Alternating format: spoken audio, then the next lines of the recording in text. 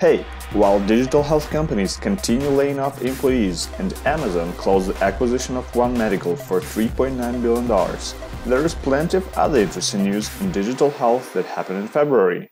For the whole month, everyone was talking about Daniel Ek, founder of Spotify, and his entry into the digital health space. A post shared on LinkedIn names Ek as the co-founder of a startup called Neko Health, which specializes in providing body scans powered by artificial intelligence. Can't wait to hear more news from the startup.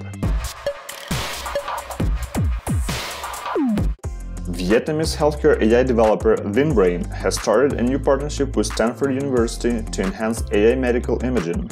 Based on their latest data use agreement, Stanford will initially provide VinBrain access to about 240,000 anonymized medical images and reports to train and test the AI on its clinical decision support platform.